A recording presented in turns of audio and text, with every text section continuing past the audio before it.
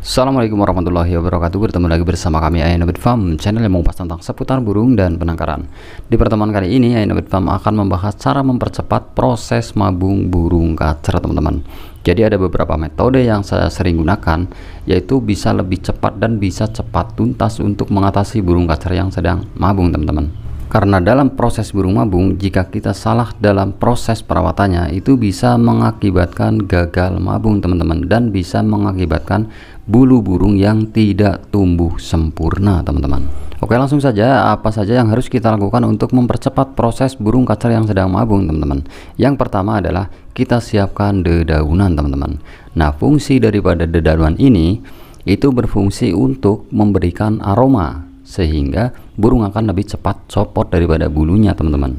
Nah fungsi yang kedua dedaunan ini itu berfungsi untuk memberikan lembab pada sangkar burung yang kita gunakan untuk mempercepat proses mabung ini teman-teman. Sehingga sangkar akan tetap lembab dan bisa mengakibatkan cepatnya copot bulu burung yang sedang mabung teman-teman. Daun apa saja yang bisa digunakan? Yaitu yang pertama ada daun pandan itu bisa kita gunakan. Dan yang kedua ada daun jeruk purut itu juga bisa kita gunakan. Yang ketiga ada kulit jeruk teman-teman itu juga bisa kita gunakan. Dan yang e, keempat bisa kita menggunakan daun kemangi itu juga bisa kita gunakan teman-teman.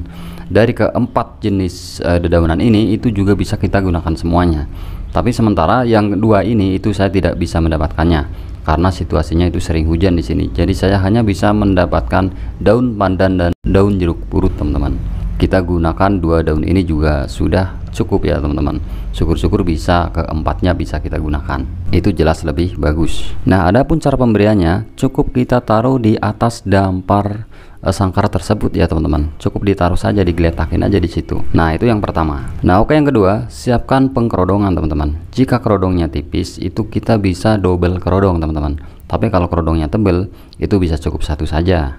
Nah fungsi daripada pengkerodongan ini itu membatasi pergerakan burung tersebut teman-teman. Sehingga burung tersebut itu tidak leluasa bergerak sehingga burung akan cepat rontok bulunya teman-teman. Nah itu yang kedua. Sekarang yang ketiga teman-teman yaitu pemberian extra fooding. Di sini ada ada dua versi ya. Ada yang non extra fooding dan ada yang memperbanyak extra fooding. Nah, menurut pengalaman saya, lebih baik memperbanyak extra fooding, teman-teman, karena proses burung yang sedang mabung itu membutuhkan nutrisi lebih banyak pastinya. Sehingga kita harus memenuhi daripada nutrisi burung tersebut, teman-teman. Nah, jika burung yang sedang mabung terpenuhi nutrisinya, pastinya proses dorongnya bulu akan sempurna pastinya. Nah, jenis extra fooding apa saja yang kita berikan? Kalau menurut versi saya, cukup kita memberikan jangkrik saja 10 ekor pagi dan 10 ekor sore untuk burung kacar sendiri. Dan perlu diketahui, janganlah kita memberikan extra fooding yang bersifat panas seperti ulet Hongkong, teman-teman.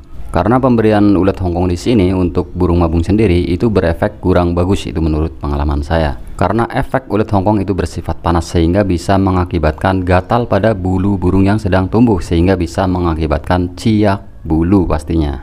Nah proses burung mabung itu juga membutuhkan kalsium teman-teman. Kita bisa menggunakan kalsium dengan likokalak tablet yang biasa digunakan untuk manusia teman-teman. Itu bisa kita gunakan. Tapi sementara saya tidak menggunakan karena tadi saya ke apotek itu tidak e, menyediakan teman-teman. Kalau teman-teman ada silahkan bisa digunakan. Dan yang keempat taruhlah burung atau gantunglah burung itu di bawah aspes dalam keadaan terkerodong teman-teman. Karena dalam keadaan terkerodong e, tidak terkena hawa langsung daripada sinar matahari itu bisa mempercepat proses rontoknya bulu burung yang sedang mabung teman-teman. Dan perlu diketahui burung yang sedang mabung itu janganlah dijemur juga janganlah dimandikan terlebih dahulu. Terkecuali sudah tumbuh bulu setengah bolehlah dijemur tipis-tipis saja teman-teman.